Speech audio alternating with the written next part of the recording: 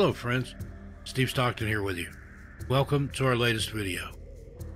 In this episode, we bring you the tragic tale of the Highway of Tears. Join me. Let's take a walk and see. Project EPANA is a Royal Canadian Mounted Police, or the RCMP, task force created in 2005 with the purpose of solving cases of missing and murdered Indigenous persons along a section of Highway 16. All the victims were female, between Prince Rupert, British Columbia, and Prince George, British Columbia. This road came to be known as the Highway of Tears.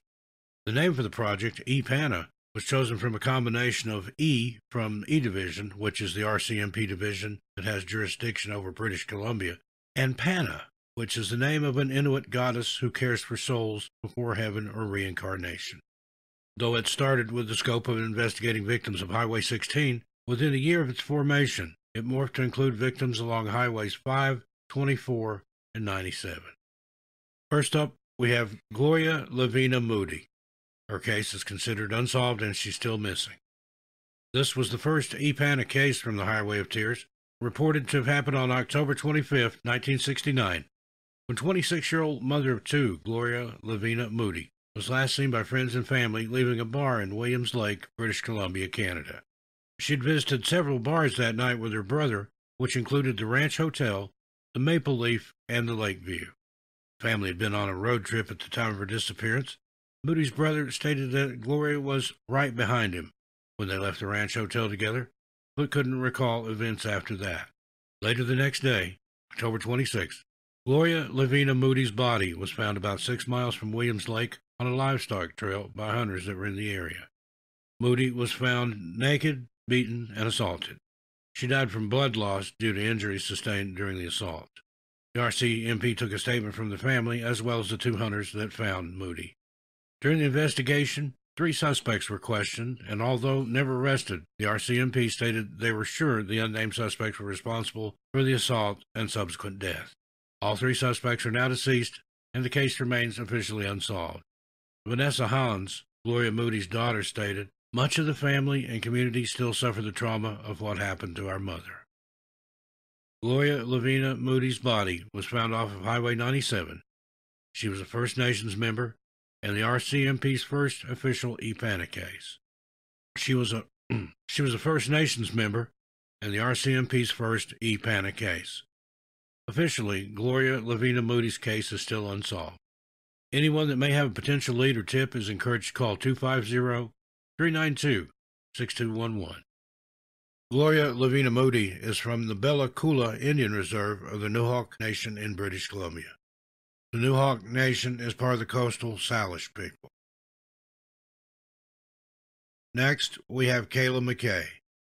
On April 13, 2004, 13 year old Kayla McKay went missing from the Prince Rupert area of British Columbia under mysterious and baffling circumstances. McKay's death was neither ruled by taking her own life nor homicide. Her body was found two days later by the railroad tracks by a waterfront area in Prince Rupert's George Hills Way. Her death was found to be from acute alcohol poisoning, as stated in her autopsy report. Technically, McKay's case does meet the criteria for the EPANA cases, but was curiously not added. McKay's parents continue to inquire about her actual cause of death.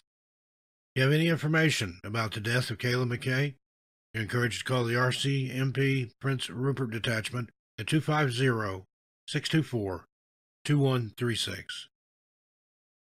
Next, Lana Derrick. On October 7th, 1995, 19 year old Northwest Community College forestry student Lana Derrick went missing from a gas station on Highway 16 while on her way to visit her sister in the company of two unidentified men. Derrick had gone to school and stopped by her parents' house earlier in the day to drop off her backpack and other school supplies. She met up with a friend for a night out on the town and also spoke with her sister. The two made plans to meet later that night after Derrick's sister finished her work shift so that Lana could pick up money her sister owed to her. At around 3:30 that morning, Lana arrived at her sister's house and collected the money. This was the last known sighting of Lana Derrick. She wasn't immediately reported missing as family believed she was out with friends. On October 11, 1995, friends and family realized that Lana was missing and a small search party was organized to search for the student along the Highway of Tears. The family notified police of the disappearance, but was brushed off as the police didn't take her case seriously. A family member stated that the police assumed Lana was with a boyfriend or out partying with friends. Lana Derrick's family made missing persons posters to place in businesses along Highway 16. This is where the next sighting was reported. A gas station attendant stated that they observed Lana Derrick early on the morning of the 7th in a beat up car in the company of two rough looking men. However, this tip couldn't be confirmed as the surveillance tapes had already been taped over from that time period. It was also said that the police were skeptical of the attendant's statement. The police asked for the public's assistance via media, and a sketch artist was brought in to compose drawings of the men from that night. The sketches were released to the public on one of Lana Derrick's missing persons posters. By the end of October, the search for Lana was called off. In 1997, Lana Derrick's aunt, Sally Gibson, offered a $10,000 reward for her niece's known whereabouts. In 2007, Liz Douglas, the investigator handling the Derrick case, stated there were still several open leads that were being pursued. One lead was that Lana had been threatened by an ex boyfriend in the past. It was reported that the ex boyfriend took his own life the night Lana went missing. There was also a dispute with a neighbor, of which Lana was involved in. Lana Derrick's case is one of the official 18 cases from the EPANA report. She's part of the Gitnao First Nation and the Gitxsan people from Terrace, British Columbia. Lana Derrick's case remains unsolved, and she hasn't been seen or heard from since October 7, 1975. If you have any information on the disappearance of Lana Derrick, you're encouraged to call Valley Pacific Investigations at 866 962 5585. Lana Derrick was described as a First Nations female with brown hair and brown eyes. Her aunt said she believes someone would have a tough time just taking Lana because she was tough. The disappearance of Lana caused a strain on her family members. When asked how the police handled Lana Derrick's case, her aunt Sally Gibson had this to say Quote, The police helped us the first 72 hours. After that, they told us to return home and wait. If any new leads came up, they would call us. End quote. After seven years, the Derrick family was encouraged to have a memorial for but to do so would mean accepting she is gone and they don't think she is, and remain hopeful to this day that she will return. Lana Derrick was reported to be wearing a green cotton sweater, blue jeans, and white tennis shoes when she was last seen. Family and friends described her as shy, goofy, and eager to learn. There was a vigil held for Lana Derrick where her stepfather spoke and had this to say quote, We need to give our young people something to grasp onto so they don't go astray. It's better if we can stop these things from happening. Young women need to be aware of their surroundings and don't play with fire when it comes to relationships. The Northwest is a very big country. We get the weirdest people through here. So we have to be watchful and pull together. End quote. This statement was said to be in reference to Atlanta's possible involvement in an abusive relationship. One of her other aunts at the vigil described her niece as loving to work outside, lobbying, and all things that went with it. She was really good in her classes she was really gung ho about going to college, and she was doing really well. She was happy. Indeed, Lana appeared to have her whole life ahead of her, but now her family has been left in the limbo of not knowing that many of us could not fathom. We can only hope that someday, some conclusion, some solace, some justice comes to Lana and her family. And this person is just one of many whose tears have been shed for another life along this tragic highway of tears. Lana Derrick is still missing to this day. Next up, we have Cecilia Nikal. On October 1st, 1989, 18 year old Cecilia Nikal went missing from Vancouver, British Columbia, after having just moved there August of the same year. Nikal had moved to the area to reside with her mother, but left shortly after to reside on the streets. Cecilia was reportedly last seen at Smithers in British Columbia. There was an unofficial report that Nikal had moved to Vancouver Island, but this is thought to be untrue. Nikal is one of the 18 official missing persons on the EPANA report, as is her cousin, Delphine Nikal, that is also missing from the Highway of Tears. If you have any information on the disappearance of Cecilia Nikal or any tips on her whereabouts, you're encouraged to please contact the Vancouver Police Department at 604 717 2530. Cecilia Nikal is described as 5 foot 4 inches tall, 128 pounds, black hair and brown eyes, and is a First Nations member. She's known to alternate the spelling of her first name, and it could either be C I C I L I A or C E C I L I A. Next up, we have Cecilia's cousin, Delphine Nikal, that I just mentioned. On June 13, 1990, 15 year old Delphine Nikal went missing from Smithers, British Columbia, a small town of just over 5,000 on the Highway of Tears. Nikal was last seen hitchhiking on Highway 16 and King Street. She was trying to get home to Telkwa, British Columbia. Just a year prior to Delphine Nikal's disappearance, her cousin, whom we mentioned previously, Cecilia Nikal, went missing from the same area. Smithers, BC, is one of the many small towns on the Highway of Tears that suffers from poverty and lack of resources for its residents. Many people are forced to hitchhike to get from one place to another, making abductions from the area all too common. Delphine Nikal is also one of the original 18 EPANA missing indigenous. Delphine Nikal has never been found, and no one has ever been arrested in connection with her disappearance. If you or anyone you know has any information on the disappearance of Delphine Nikal, or any of the circumstances surrounding her case, you're encouraged to please contact the RCMP at 250-847-3233. Delphine Nikal is described as being 5 foot 3 inches tall and weighing 134 pounds. Light brown hair and hazel eyes. Identifying marks are as follows. A right temporal scar, a purple birthmark on her back, and a broken right index finger. Delphine is a First Nations member. Next, we have Alberta Gail Williams. On August 25, 1989, 26 year old Alberta Gail Williams disappeared from a pub in Prince Rupert, British Columbia, while out with her sister. The two had left work at a seasonal cannery earlier that day and were making plans to go to a house party later that night when she went missing. On September 25, 1989, Williams' body was discovered about 23 miles from Prince Rupert on the Highway of Tears. Alberta Gail Williams had been assaulted and strangled. Claudia Williams, Alberta's sister, stated she is under the assumption that a man killed her sister. An unnamed man that worked at the same cannery facility as Williams and her sister was romantically pursuing Alberta in the weeks before she went missing. Alberta Williams had told the man that she had a boyfriend and wasn't interested in his advances. Now, this person is not an official suspect and has never been questioned by the police, it's unknown how this coworker reacted to Williams' non-interest in the man's advances. Alberta Gail Williams is one of the 18 original EPANA cases, and there are no new leads in her death.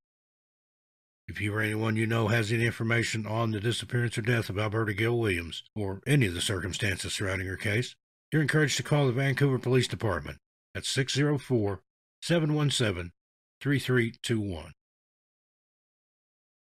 Next up, Helena Edna Tomat. In 1989, 17 year old Helena Edna Tomat went missing near Westbrook, British Columbia, after she was last seen hitchhiking on Highway 16, the Highway of Tears. In 1991, her skeletonized remains were found and had to be identified through dental records. Along with her remains were the remains of another woman. 34 year old Elise Friesen was also found in the same area. Both cases remain cold and have no new leads. If you or anyone you know has any information on the disappearance of Alberta Gail Williams or any of the circumstances surrounding her case, please contact the Kelowna Police Department at 250-762-3300. Helena Edna Tomat is described as having brown hair and brown eyes and was a First Nations member. Next, Tanya Lisk. On July 18, 2004, 16-year-old Tanya Lisk went missing from Vernon, British Columbia, while on her way to Calgary. Earlier that day, Lisk contacted a friend to let her know what the plans were for that day. That was the last known communication anyone had with her. Through interviews with a friend and family, it's believed that Lisk was hitchhiking on Highway 16 when she went missing. Very little information is available in the Tanya Lisk case. The criteria set by the RCMP didn't meet the requirements to add Lisk to the original 18 cases for the EPANA project, even though she was female, a First Nations member, and hitchhiking when last seen. If you or anyone you know has any information, no matter how small or insignificant it may seem, regarding the disappearance of Tanya Lisk or any of the circumstances surrounding her case, again, you're encouraged to call the Mount Vernon RCMP at 250 545 7171.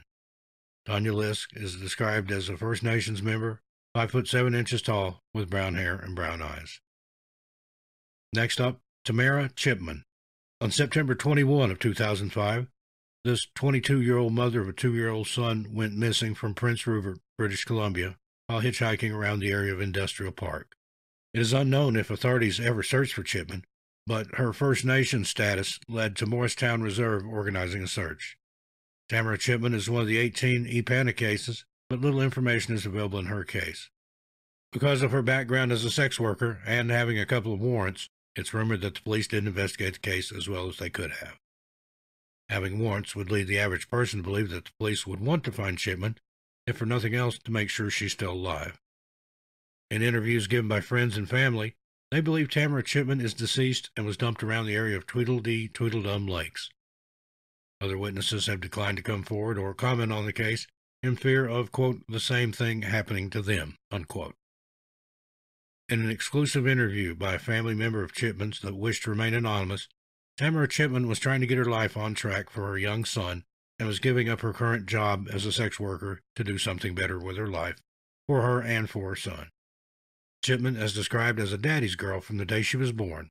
She had her daddy wrapped around her finger, Tamara's mother said in an interview. Her friends and family love her very much and just want to bring her home either way. They just want closure and more so for her son. Unfortunately, Tamara Chipman's case is all too familiar, where high risk behaviors are thought to be a part of their life.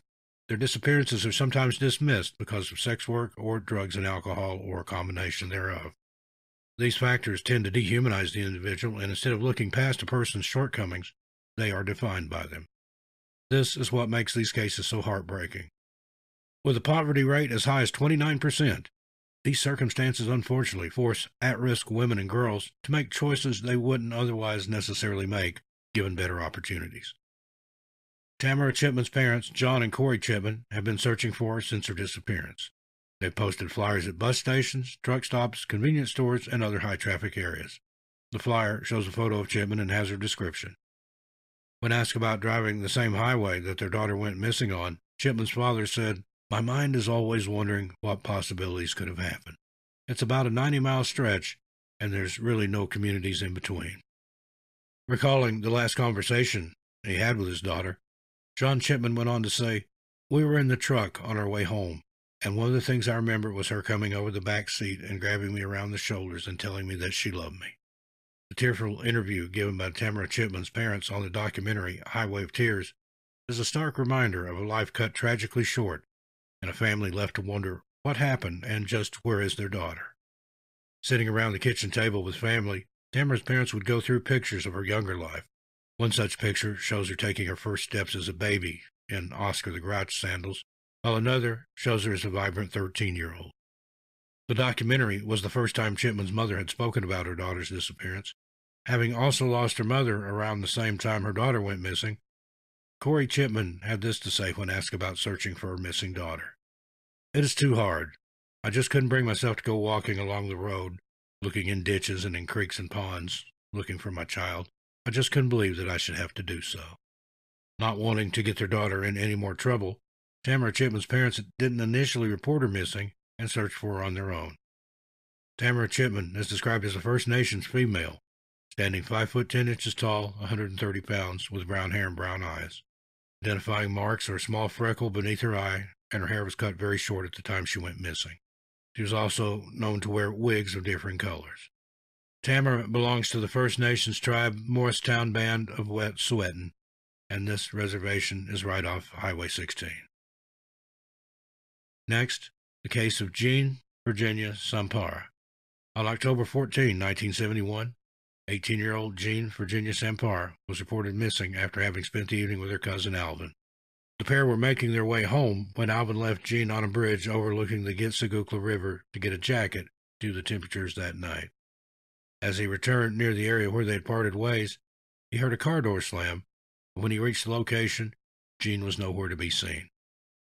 Jean was born into the Gitxsan First Nations family and was the second youngest of six children. She attended high school in Hazelton, British Columbia, where she also worked at a local cannery during fishing season. Growing up, Jean was described as shy and quiet, but loved to play nurse with her siblings. Jean Virginia Sampare was reported missing by her mother when she didn't return home from the walk she had taken with her cousin. The village in which the family reside helped the family initiate the search for Jean, and the Royal Canadian Mounted Police joined a few days later, bringing a search dog with them. An early snow hampered search efforts, but parents were soon back to searching along with police. The official search lasted for eight days and was called off after the river and surrounding areas were searched in vain. It was reported that the police tried to declare her as deceased and close the case in 1985, but after the family pushed back, her status was changed to missing. Oddly enough, after Jean went missing, her boyfriend was found drowned in the same area of the river where she went missing. Several theories have been researched into the disappearance of Jean. Those include abduction, taking her own life, animal attack, runaway, foul play, a serial killer, or perhaps even friends or family. In all these theories, none make any sense except for a possible abduction by either someone she knew or a stranger. Jean is described as a First Nations female with brown hair and brown eyes. If you or someone you know has any information regarding her disappearance, please contact the Royal Canadian Mounted Police New Hazelton Detachment at 250 842 5244. And now we'd like to present a few solved cases from the Highway of Tears. First up, we have Cynthia Maas. On September 10, 2010, 35 year old Cynthia Maas disappeared from Prince George, British Columbia. Her body was found on October 8, 2010, in L.C. Gunn Park near the Highway of Tears. Maas was reported missing by family members when they hadn't heard from her in a few days. Her body was discovered by RCMP Corporal Kent McNeil. Her remains showed defensive wounds, her pants were rolled to her ankles, and she had been decapitated. On November 27, 2010, Cody Allen Legebokoff was arrested in connection to the murder of Cynthia Maas, as well as Loren Donn Leslie, Jill Stacey Stuchenko, and Natasha Lynn Montgomery. Legebokoff is one of many serial killers confirmed to have used the Highway of Tears as a hunting ground for vulnerable women. He's also considered one of Canada's youngest serial killers, being just 19 years old when he killed his first victim. Next, we have Corrine Thomas. On July 3, 1976, 21 year old Corrine Thomas was hitchhiking home on Highway 16 when she was struck and killed by a truck being driven by Richard Redekop. What was first thought to be an accident was later revealed to be a homicide. Richard Redekop saw Thomas on the side of the road and swerved to intentionally hit her. Thomas was pregnant and just days away from giving birth. Sadly, both the mother and child died at the scene. During court proceedings in Redekop's trial, the coroner gave testimony that the fatal motor vehicle accident was just that, an accident. However, witnesses on the scene stated they saw Redekop deliberately swerve to hit the First Nations woman, but after three hours of unsupervised interrogations conducted by the police, it was determined that the witnesses had been coerced into giving a false statement, exonerating Redekop of any wrongdoing. They were made to say that Thomas was playing chicken with the truck. With both the statements from eyewitnesses and the coroner, it looked as though Redekop would be found innocent. That was until evidence was uncovered about another, quote, accident, unquote, ten years prior to Corrine Thomas being struck and killed, of another vehicular fatality by Richard Redekop, where he struck and killed a First Nations man on the same road Thomas was killed on. Even though the new evidence pointed to Richard Redekop killing Corrine Thomas intentionally, the Crown never proceeded with the charges to convict him. In June of 1977, Thomas's father sued Richard Redekop for criminal negligence, but the charges were dropped because of insufficient evidence. Both the deaths of Corrine Thomas and the unnamed male that was struck and killed were deemed suspicious, but no further charges were ever pursued against Richard Redekop. Next, Mary Jean Kovacs. On October 10, 1981, 36 year old Mary Jean Kovacs was last seen at the intersection of Old Caribou Highway and Highway 16. On October 11, 1981, her body was discovered in a ditch filled with water by a man gathering firewood. Kovacs had been shot in the head multiple times by a 22 caliber pistol and dumped at the site. She was the last victim of serial killer Edward Dennis Isaac. Now we have Roswitha Fuchsbichler, on November 14, 1981, 14 year old Roswitha Fuchsbichler was reported missing by her father after making plans to meet up with a friend but changing her mind at the last minute to attend a party later that night. Fuchsbichler made it to the party and after it ended, called a male friend to hang out at his apartment. Two young men offered her a ride, but she refused at first. When the two men asked a second time, she accepted the ride and had them drop her at her male friend's apartment. The two reported watching Fuchsbichler walking toward the door. This was the last time anyone saw her alive. Roswitha's body was discovered on November 21, 1981, by joggers in a wooded area in Prince George. Her clothing was discovered nearby. She had been strangled, but had died of a stabbed wound that penetrated her heart. Roswitha Fuchsbichler was only 14 years old at the time of her death and was the first victim of serial killer Edward Dennis Isaac. Next, Nina Marie Joseph. On August 16, 1982, 15 year old Nina Marie Joseph was found strangled to death by a cord from her own jacket. She had also been stabbed. It was determined that Nina Marie was the second victim of serial killer Edward Dennis Isaac. This potentially would have gone unsolved, but Isaac had his ex girlfriend help him dispose of the body. The ex girlfriend would later testify to this, leading to Isaac being convicted of manslaughter and subsequently sentenced to life in prison without parole for 13 years. Next, we have the case of Monica Jack. On May 6, 1978, 12 year old Monica Jack was reported missing after she didn't return home from riding her bike around the Nicola Ranch area of British Columbia. Her case is a confirmed EPANA case, and she is the youngest known victim on the Highway of Tears. Her mother remembers her daughter's sweet laugh and warm smile. Everyone, from teachers to acquaintances, loved her friendly and sweet nature. A year after she went missing, her bike was found, which prompted a new search for the preteen. However, her body wouldn't be discovered until June 2, 1995, a full 17 years after she went missing. In 2014, Gary Taylor Handlen was arrested and charged with Monica Jack's murder. During an undercover operation by the RCMP, Handlen unknowingly confessed the murder to an investigator. In his confession, Handlen stated he grabbed Jack from a highway pullout, threw her bike in Nicola Lake, shoved her into the bathroom of his camper, where he assaulted, strangled, and disposed of her clothes and body by trying to burn them.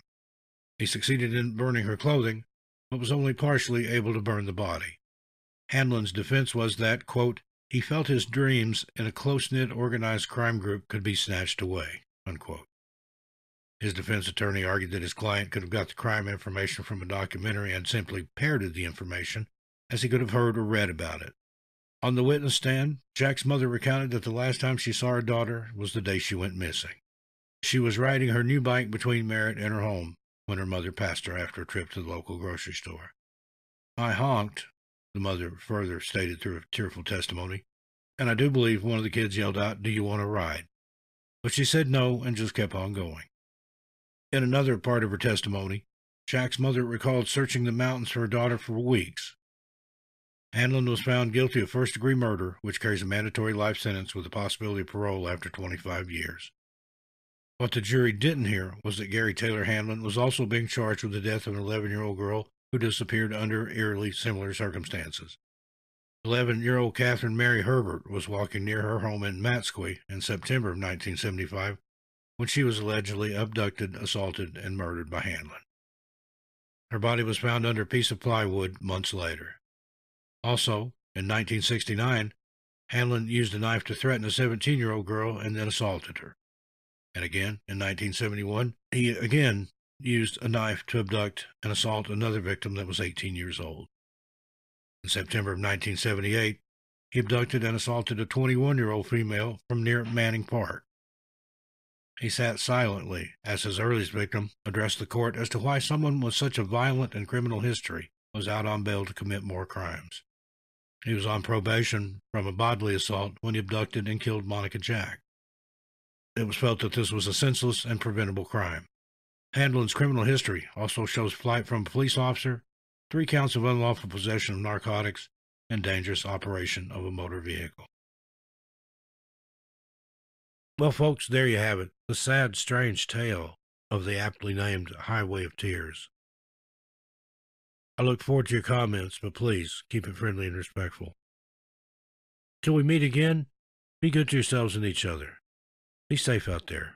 Please don't hitchhike. As for me, I'll see you a little further on down the trail. I'm Steve Stockton, and I'll talk to you next time. Give your animals a hug and tell them I said hi.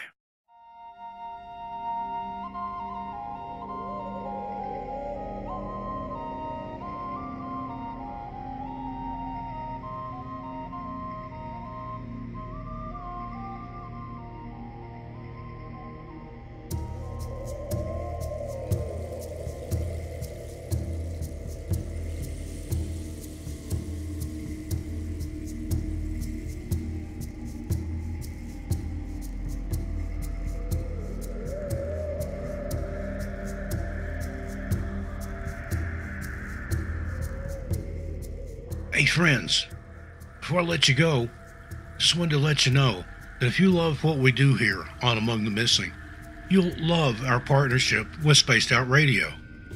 Spaced Out Radio is a show I listen to nightly for news, information, and great stories of the unknown. And in the third hour, you'll hear a great story nightly from me as well now. Spaced Out Radio is live seven nights a week. Make sure you head over to their YouTube channel. Again, that's Spaced Out Radio. And hit that subscribe button, ring the bell, and in the chat, tell them Steve Stockton sent you.